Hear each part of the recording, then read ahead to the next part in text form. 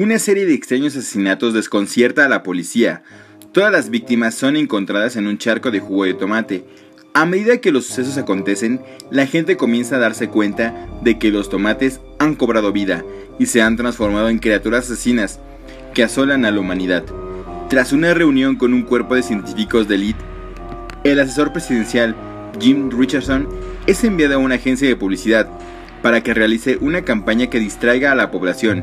Mientras tanto, un equipo de espías se despacha para intentar infiltrarse en el campamento de los tomates y poder hallar la manera de vencerlos. Al mismo tiempo, los tomates han crecido en proporciones gigantescas y han comenzado a asolar las ciudades. Como ya te habrás dado cuenta, estamos hablando de los tomates asesinos. Este es un pequeño film de culto que ganó gran popularidad con su salida en video en los años 80. John DeBello y sus amigos tuvieron sus 15 minutos de gloria, generando tres secuelas e incluso una serie animada. Pero el destino del director y los guionistas fue bastante errático y después de Killer Tomatoes Hit Fringe en 1991 nunca más se supo de ellos. A lo sumo que hay un remake en carpeta de este film, agendada para el 2009, el cual jamás se concluyó. Ciertamente el ataque de los tomates asesinos es una parodia a los filmes de la serie B y especialmente al género de monstruos.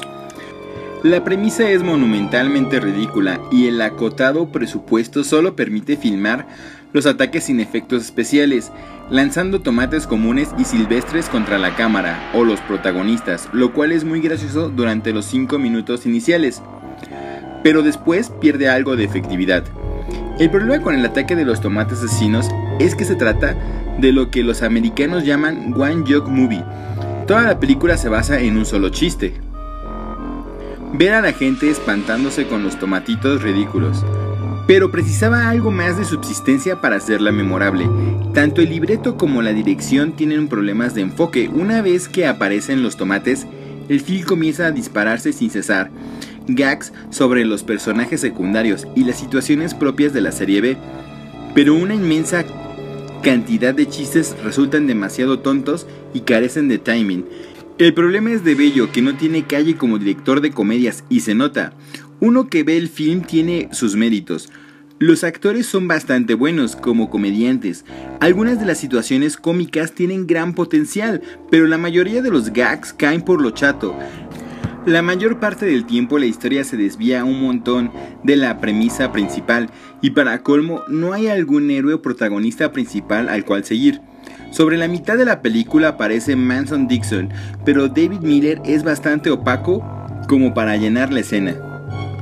En resumen, El ataque de los tomates asesinos es una película que es tan mala que es tan buena. Si tú ya la viste, déjame en los comentarios qué te pareció. Y si no la has visto, recuerda que esta es una película de culto clásica para estas fechas. Recuerda, este es el séptimo video de 31 días de terror. Con ello, acabamos de cumplir ya una semana dándote un video diario. Espero que te agrade, lo compartas, dale like y suscríbete. Pero antes de irnos, daré unos cuantos saludos. Un saludo para Beck Ramos, Neodark97, Olaf Ruiz, Tony Martínez, Dixon Legui, Isra Vargas, Gerardo Ángel y Joshua Almazán.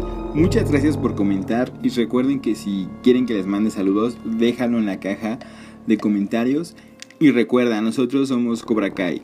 First Strike, Strike Hard, No Mercy.